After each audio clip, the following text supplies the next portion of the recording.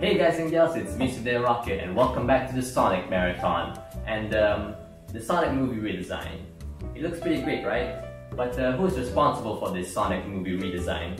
Well, it's no other than Tyson Hesse himself, who worked on the, um, the Sonic Mania Plus um, mini-series Sonic Mania Adventures to promote, you know, Sonic Mania Plus.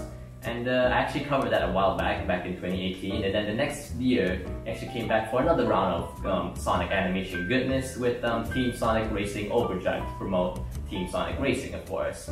So um, that's what we'll be looking at today. So um, yeah, that's all for the intro. I don't really have that much of a skit or whatever to give this intro more flair, so that's pretty much it. Hey, you know, I'm still here. I can help you out a bit. Oh, okay, never mind. Okay, I'm, I'm, I'm going. Well, um, anyways, um, without further ado, let's get into it.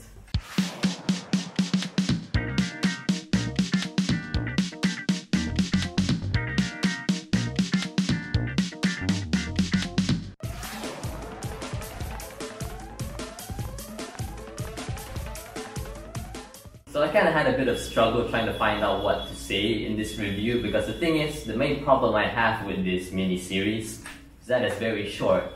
I mean, yeah, sure, it is a mini-series. It's expected to be kind of short, but at least with the previous mini-series they had, Sonic Mania Adventures, it was separated into five parts. But here, it's only two parts, which I kind of feel like is a bit odd because they could easily make at least at least two more parts for this mini-series. So um, yeah, I, they can just release it after you know the game releases, and I'm pretty sure people won't complain at all. So I don't know why they didn't do that. Since the two parts that we got focuses on a team from the you know the video game, of course. The first part focusing on Team Rose, and the second part focusing on Team Shadow, but of course along with you know Team Sonic trying to battling them. And they were done pretty well. I really like the Team Rose part. They really focused a lot on Big the Cat, which was really fun. I really like what they did with Team Dark as well, or Team Shadow you, whatever you pick. But uh, yeah, they could have easily done that with the other teams from the video game, Team Silver and Team Eggman. They could have easily put Team Eggman as the as the final part. I guess that literally makes a lot more sense than Team Shadow. Yeah, sure, Shadow and Sonic are you know the biggest rivals, but Eggman make more sense. It's you know he's the main bad guy. So yeah, it, would have been interesting to see um, Silver or Blaze or even Zavok in Tyson Hesse's style. But hey, what he can do. Eggman did still appear in this mini-series, although he did not race, he just was there to, you know, sabotage the race, and that's pretty much it. I mean, it was still pretty fun that he was here, and at least gave us this face. Yeah, the, the main thing that people are gonna remember this animation for is, you know, how all of the facial expressions are for all of the characters. And uh, yeah, I have to agree, that's the, you know, that, like the high point for this uh, cartoon, and it really benefited it as well, because there really isn't that much they can do with the premise that they have because, you know, um, Sonic and friends are going to be racing in cars, so you don't really get to see the fluid movement of the characters, unlike these we see in, you know, Sonic Mania Adventures. And we're definitely not going to see that much of how the characters are since, you know, the cartoon is very short. But the times that we did have enough screen time with one of the characters, it was pretty charming. Like the, the big part they had with um, Big the Cat trying to get some merch of Froggy, that was pretty fun. So, um, yeah, that's pretty much all I could say.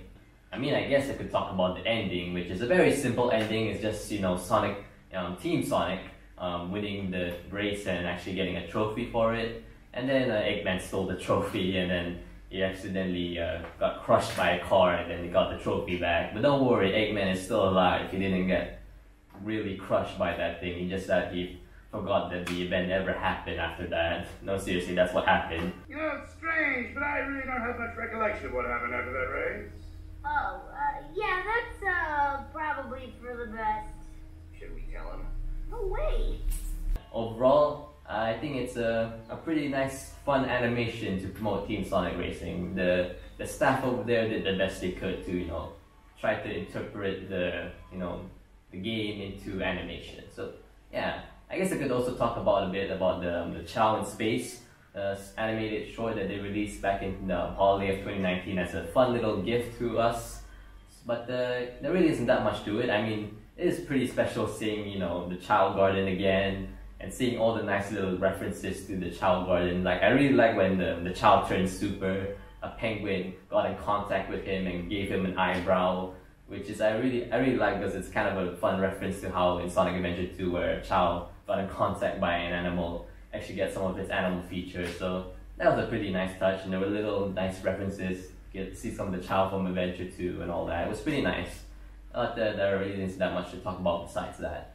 So um, I guess I'm done here. So with that said, alright guys and girls, thank you for watching this video. Hope you enjoyed it. So of course we're almost done with the Sonic Marathon. We have one more video to go to wrap this marathon nicely because of course this review was technically supposed to happen before the Sonic movie release, but the kind of got a bit of delays there. So um, yeah, we're gonna review the Sonic movie. So we're gonna tackle something else to you know wrap this up nicely. We're gonna end it off with a big bang. Well, not really big bang, I guess, but yeah, something that is gonna be very interesting enough to close it up nicely.